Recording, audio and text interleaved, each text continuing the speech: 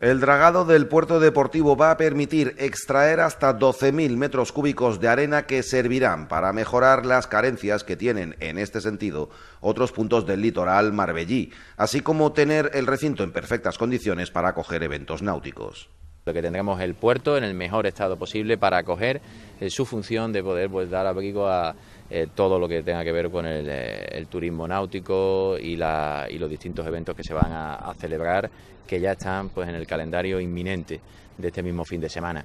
Eh, además de, ello, en el momento en el que nos encontramos, tras haber sufrido diversos temporales, por otro lado lógicos, en, esta, en esta época, pero con especial virulencia en este año y ya tan cerca de la, de la época estival, el estado en el que tenemos algunas de las playas, pues nos vamos a tener en este dragado un aliado para poder eh, mejorar eh, la estabilización de nuestras playas, es decir, contar con playas en mejor estado a la hora de eh, poder ofrecerlas como espacios para el disfrute y el uso público de todos los ciudadanos y también pues de la industria turística. La autorización que tenemos por parte de Costa y sobre todo de Medio Ambiente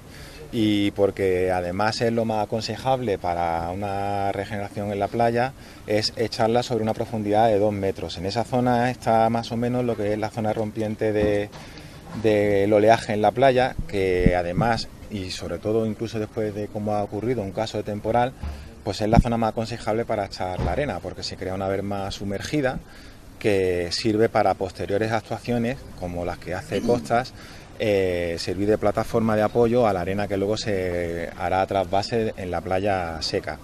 De hecho, incluso es lo más semejante a la acción natural del mar. Cuando hay temporales, la arena no es que se pierda, la arena es que se va al fondo del mar, crea unas barras paralelas a la playa para defender el oleaje que rompa más lejos. Eso es una cuestión que tarda horas, aparentemente se ha perdido la arena, no. La arena se va a la playa sumergida y tarda meses en volver a, la playa seca, que por eso parece que es que se pierde la arena. Lo que se está haciendo es asemejarse de la máxima manera al proceso natural y adelantarlo. Es decir, vamos a echar arena en la zona de rompiente donde la misma acción del oleaje normal, natural, la devuelve a la playa. Una de las playas beneficiadas será la de la Fontanilla. Esta actuación, que tiene un presupuesto de 60.000 euros, se produce en el marco de la inminente reunión que va a tener lugar en Madrid entre los portavoces de los grupos políticos representados en la Corporación Municipal y representantes del Ministerio de Fomento, para alcanzar un acuerdo que sirva para la estabilización permanente de las playas, mediante la instalación de diques y otros elementos de contención.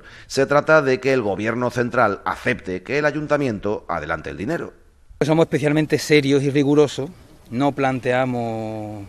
nada que no sea factible, nos aseguramos siempre y los portavoces, yo tengo una reunión a posteriori con la ministra personalmente, pero los portavoces de todos los grupos políticos y por supuesto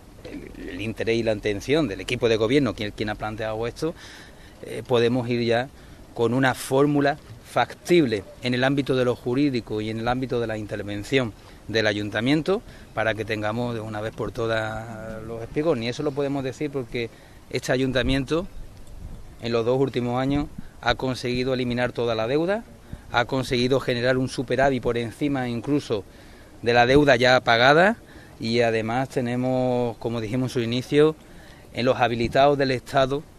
la disposición de cualquier tipo de documento jurídico del ayuntamiento. El dragado de la Bocana del puerto servirá para facilitar, entre otras cuestiones, la celebración desde este fin de semana de distintas pruebas deportivas recogidas en la Semana Náutica Sol Marina, en la que destaca la regata que une Marbella y Ceuta, una de las más destacadas del calendario nacional de vela.